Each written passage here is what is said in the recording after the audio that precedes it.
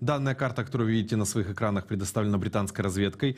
Начнем с э, самой горячей точки нашей страны, это город Северодонецк. Сейчас, по информации Генштаба, э, в центр города уже вошли российские военные. И, э, как сказала наша корреспондентка Анастасия Волкова, которая также в Северодонецке каждый день собирает максимум всей информации, россияне проводят так называемую зачистку в центре города Северодонецк. Далее видим, что самые активные бои ведутся на Изюмском направлении, на Донецком, и также периодически обстреливается э, Краматорск и окраина города Краматорска.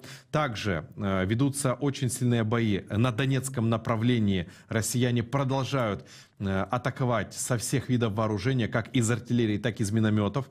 На Сумскую область был нанесен авиаудар э, с самолетов российских, э, вследствие чего также э, страдают мирные жители и разруша... Э, видим разрушение э, домов. Также сейчас э, очень важная ситуация Херсонской области. Как видим, украинские военные продолжают контрнаступление, тем самым усложняя ситуацию для временно оккупированной территории, для россиян, которые там сейчас пытаются укреплять свои позиции. Ну и в целом также сейчас сохраняется риск нанесения Э, ракетных ударов по всей территории нашей страны. Если вдруг вы услышали воздушную тревогу, пожалуйста, не игнорируйте ее, а сразу же бегите в укрытие.